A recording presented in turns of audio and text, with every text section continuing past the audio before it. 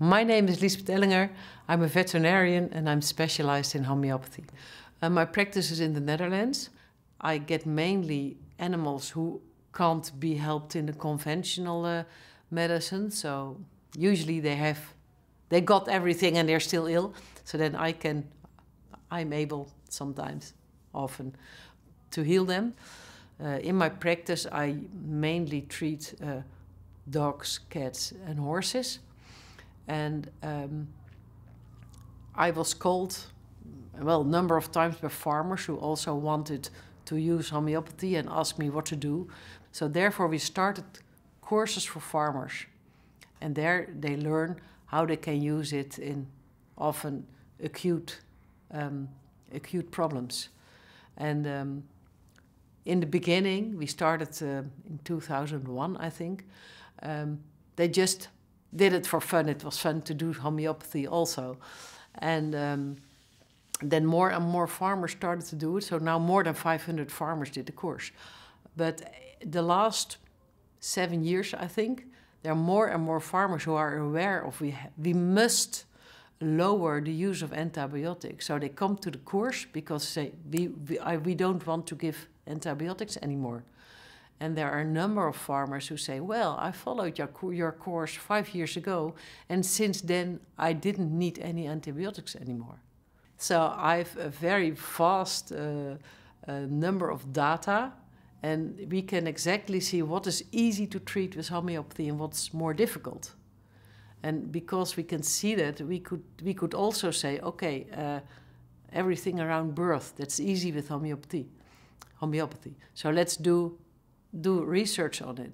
And when I have diarrhea in calves, for example, oh, if I give a homeopathic remedy, within half an hour or an hour, I see that they are more uh, lively, and after three hours, the diarrhea is gone.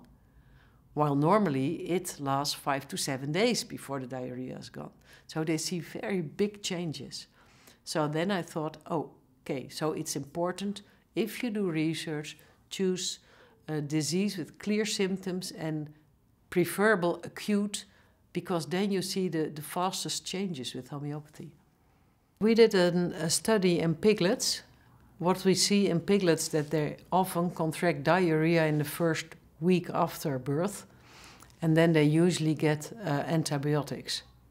And we want to reduce the use of antibiotics because we have to reduce them in animal husbandry. So um, we started to do a project to look if we could uh, manage it with, uh, by giving homeopathic remedies as a prevention. So we went to a commercial farm with 300 sows, so mother animals, and um, we, we selected the group in a certain uh, uh, period of time, and we got 52 sows, and 26 of them got a placebo, so a remedy where's nothing in it, and 26 got a homeopathic remedy. The homeopathic remedy they got was uh, potentized coli, because we knew from the site of the diarrhea that the, the piglets got an E. coli diarrhea, it's called. So, in the last month of gestation, all the sows got either a placebo or a homeopathic remedy twice a week. And then the piglets were born, and then the, we were looking at how many diarrhea the piglets would get. And in both groups, about 260 piglets were born. In the placebo group, 63 piglets got diarrhea. In the homeopathy group, 10 piglets got diarrhea. So that's a really, really big difference. So that was a very nice outcome. And very convincing, of course. You could also see that in the, uh, you have the litters. And in the litters where placebo was used, often many piglets got diarrhea. But in the, in the litters where homeopathy, homeopathy was used, you almost every time saw that just one piglet got diarrhea, but the rest didn't get any diarrhea. So apparently, maybe the most weakest piglet got diarrhea, but it wasn't spread through the litters. So that's a very nice outcome also. It was randomized, it was placebo controlled, it was, well, you can see three or four double blinded because normally when you say, I've done double blind research, it is so that the, the therapist does not know what he's giving to the patient and the patient does not know what he gets, if he gets a placebo or he gets homeopathic remedy.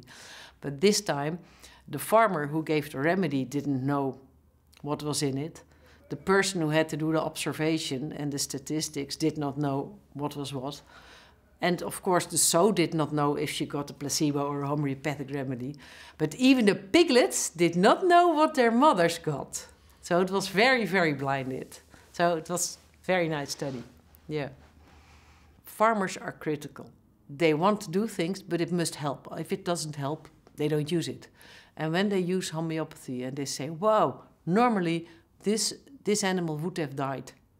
And now we give a remedy, and after half an hour it was standing and it was fine. That's really convincing. And you can't say, this is a placebo. People who say homeopathy is impossible, I think they're just arrogant. How can you say that if we don't know how something works, then it's impossible? It's ridiculous to say that, and I think it's very arrogant. Then there are many things that we don't know how it works, and still it works. And if you're a real scientist, you should look with an open mind and be rational about it. And that's what you miss in the discussions usually. I would like to say to the critics look what your profession is.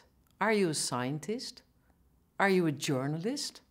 Can you really read good scientific paper or is it just an opinion? Are you just a fundamentalist who wants to state that he is right? Or do you wa really want to see the truth? And if you are really seeking for the truth, then you should read all the scientific papers with an open mind. I think the beautiful thing um, about homeopathy is that what you see in the patients that you are not suppressing symptoms, but that you are um, raising vitality so that the self healing properties can make the patient better. And I see that in humans as well as in animals. And I think what's very good about homeopathy that we do not pollute the environment. So the remedies are safe and they are, well, not polluting. So I think that's nice to say about homeopathy.